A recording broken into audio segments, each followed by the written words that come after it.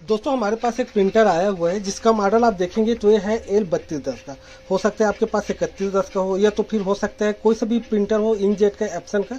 तो यार, उसमें अक्सर आप देखे होंगे कि ये इस तरह से इंक बह जाता है। देखिए, अगर आप हेड क्लिंग करते हैं तो इंक बह जाता है, और नीचे देखेंगे तो ये ये प्लसिंग कर रहा था तो पूरा इंक गिर गया।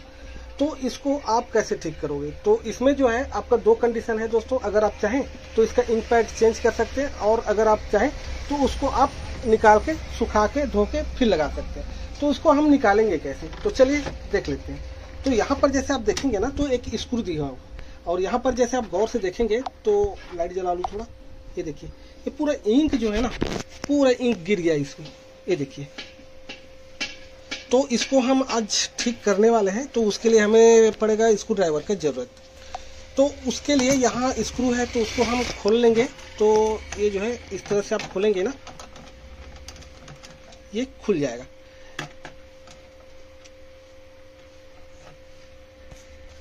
अब उसके बाद इसको आप थोड़ा सा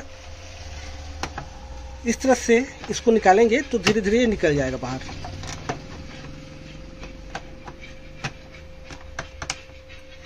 थोड़ा आराम से निकालना एक्चुअल में क्या है, इसमें लॉक लगा रहता है ना, वो टूट सकता है।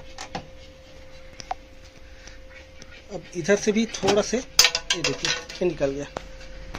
और जैसे आप देखेंगे ना तो इसमें जो है पूरे इंक गिरा हुआ देख सकते हैं। तो इसका मेन प्रॉब्लम ये है कि ये भर गया है तो इसको हमें निकालना है, ठीक है? तो निकालने के लिए हमें क्या करना पड़ेगा, यहाँ से खोलना पड़ेगा, ये स्क्रू है, इसको हम निकाल लेंगे। ये भी निकल गया। अब तो आप क्या करना है दोस्तों? जैसे आप यहाँ पर देख रहे हैं ना, ये, इस टाइप से गिप तो इसको क्या करना है आपको? इस तरह से आपको नुकीली चीज़ को घुसा देना है।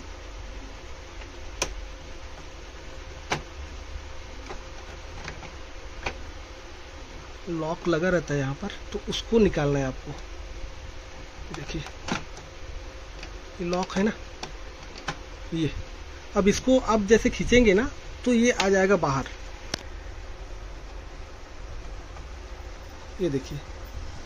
और इसको जैसे आप देखेंगे ना तो देखिए, ये बिल्कुल फुल हो गया है, एकदम भरा हुआ है। इसकी वजह से ये इंक फेंक रहा था बाहर।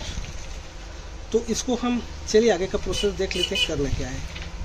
तो दोस्तों, इसका जो इंक है ना, वो तो मैंने फ़िलहाल बाहर में कचड़े जगह में फेंक दिया है। अब इसमें जो गद्दा लगा हुआ है उसको हमें निकाल के इसमें डालना है। ठीक है? उसके बाद इसको हम साफ़ कर लेंगे, दबा के जितने भी इंक वगैरह है, सबको हम निकालेंगे उसके बाद जैसे निकाले थे, वैसे हम फिर लगा के फिर फिट कर देंगे। तो दोस्तों फाइनली जो है, मैं इसको पानी से अच्छे से धो दिया है और इसको अच्छे से सुखा भी दिया है। और जैसे आप इसको उठा के देखेंगे ना तो बिल्कुल हल्का लगेगा। ठीक है? उसी तरह से मैं इसको भी धो दिया हूँ। तो अब क्या करना है? देखिए, जैसे कि आप उसमें देखेंगे तो थोड़ा थोड़ा इंक है, इसमें तो यार हटा दो उसको। देखेंगे तो एक खांचा टाइप का बना हुआ है, देख सकती है खांचा टाइप का बना हुआ है। तो इसमें हमें क्या करना है, वन बाई वन लगाना है इसको, ठीक है? ये जो फोम है, इसको वन बाई वन इस तरह से लगा देना है। मतलब ये जो खांचा दिख रहा है ना, ये खांचा जो है, उसी में बैठे। तो चलिए, इस तरह से आपको वन बाई वन करके लगा लेना है, और सेकेंड में आपको इसको लगाना है, ठीक है? ए वाली।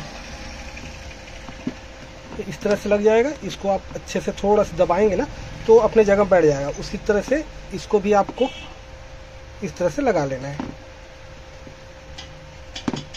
इस तरह से लग जाएगा और इसको आप जगह बना लेना, ताकि दूसरा वाला भी घुस जाए। मतलब लास्ट है वो। तो ये जो है, इस तरह से ये बराबर चला जाएगा। थोड़ा से इसको जगह बनाना पड़ेगा, थोड़ा सा। फिर वो फिट आ जाएगा। तो आपको क्या करना है? इस तरह से आपको कुछ जुगाड़ ले लेना है और इसको घुसा के ना, इसको आप बराबर करेंगे। इस तरह से तो जगह बना लेगा और उसके बाद जो है अपने आप अपने जगह में वो बैठ जाएगा।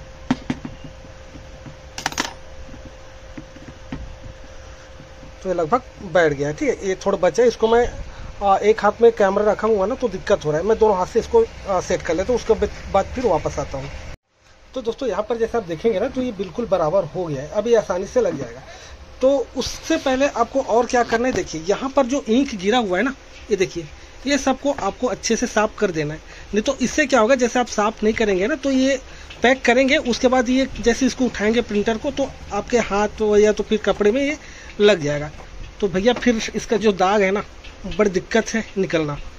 तो इस तरह से ना दोस्तों, आप जो है आसानी से फ्री में अपना काम कर सकते हैं। आपको मार्केट वगैरह जाने की कहीं ज़रूरत नहीं है और अपना काम आप बना सकते हैं घर पर ही।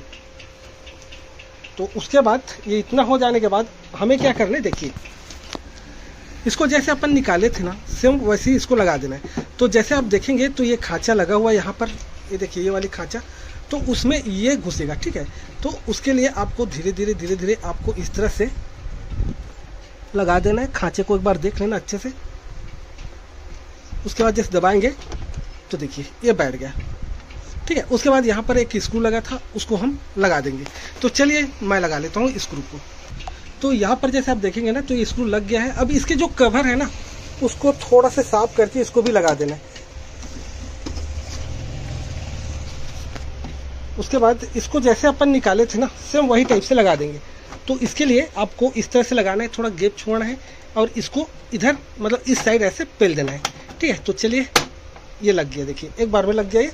तो इसका जो स्क्रू है, उसको भी लगा लेता हूँ। दोस्तों, जब एक काम करेंगे ना तो भैया आपके जो हाथ है, बहुत गंदे हो जाएँगे मतलब काला काला हो जाएगा। मतलब ये लगेगा कि आपने होली खेल रखा है। ठीक है तो इस तरह से जो है, आप अपने इंक पैड को फ्री में आप ठीक कर सकते हैं, दोस्तों। कहीं भी मार्केट वगैरह में भटकने की ज़रूरत नहीं है यार। इसको आप घर पर ही आसानी से कर सकते हैं।